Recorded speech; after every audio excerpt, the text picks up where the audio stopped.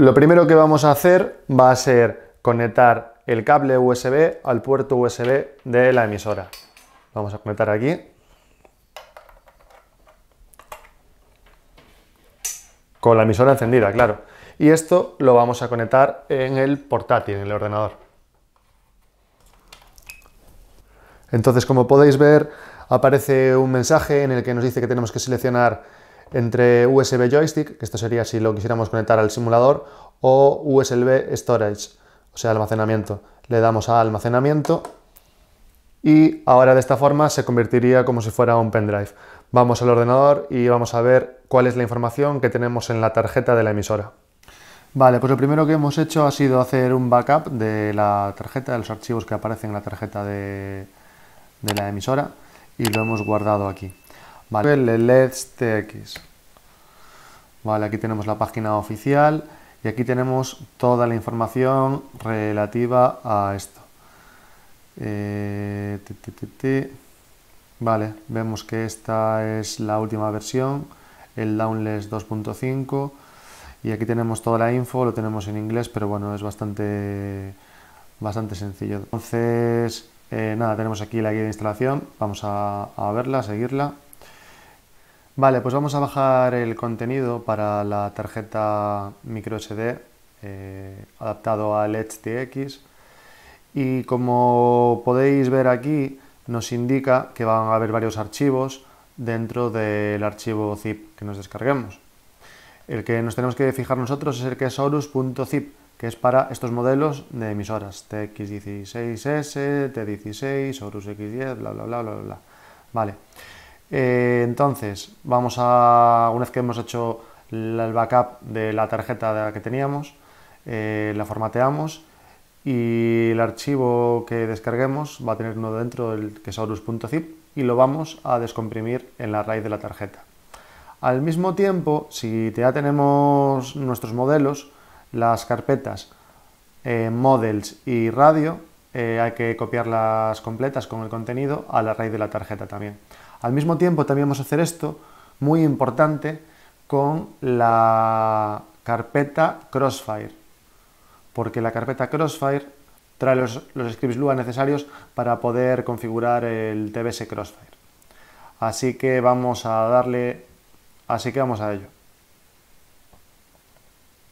Aquí tenemos la tarjeta micro SD que tenemos dentro de la emisora y lo que os comentaba, esta carpeta Crossfire la dejé porque ya me la traía, es muy importante dejar esta carpeta.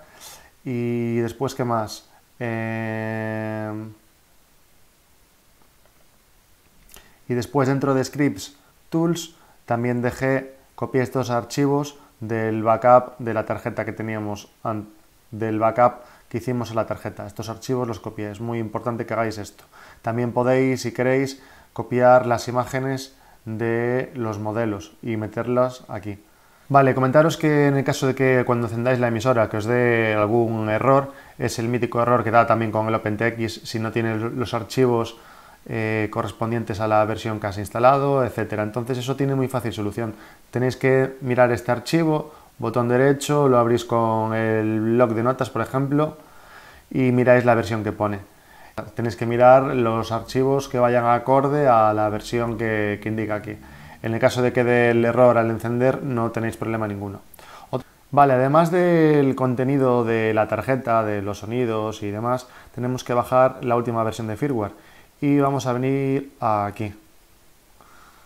Vale. Aquí le damos para abajo y aquí tenemos FTS Firmware 2.5, vale, le damos y lo descargamos. Vale, ahora lo abrimos y nos fijamos que hay un montón de firmwares. Esto va en función de vuestro modelo de emisora. En nuestro caso es este el que vamos a utilizar. Vamos a descomprimir este archivo y lo vamos a meter dentro de la carpeta firmware de nuestra tarjeta microSD. Ahora que ya hemos copiado el archivo bin dentro de la carpeta firmware de nuestra tarjeta de la emisora, vamos a buscar ese archivo. Le damos aquí en System, Page y aquí en la segunda, en la segunda página tenemos firmware. Le damos a firmware y aquí está el archivo que metimos en la tarjeta, que es que pone TX16S, ta, ta, ta, ta, ta. Le damos y nos dice, tenemos varias opciones, le damos donde pone Flash Bootloader, le damos y esperamos. Ahora vamos a apagar la emisora.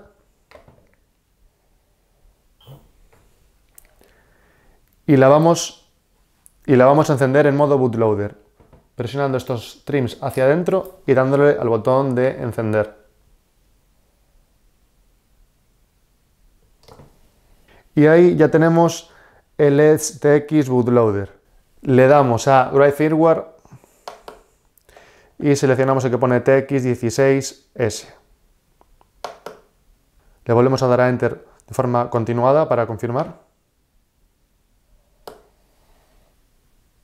Y ahí se está cargando el nuevo firmware. Ya veis que es un proceso súper, súper sencillo. Tarda unos segundos.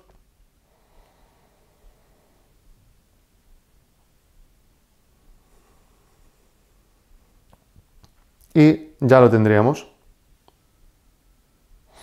Ahora le damos al botón de return, devolver. Y ahí tenemos el Edge. Ahora tenemos que calibrar como nos indica aquí en la pantalla. Entonces vamos a darle a Enter para empezar. Hay que centrar los sticks. Y los potenciómetros. Y le damos a Enter.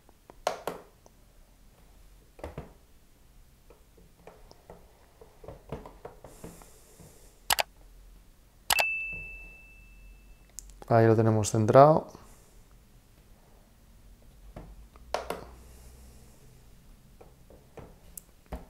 Vale, pues ya veis que está funcionando perfectamente la pantalla táctil. Podemos acceder a los menús y desplazarnos por ellos de forma táctil.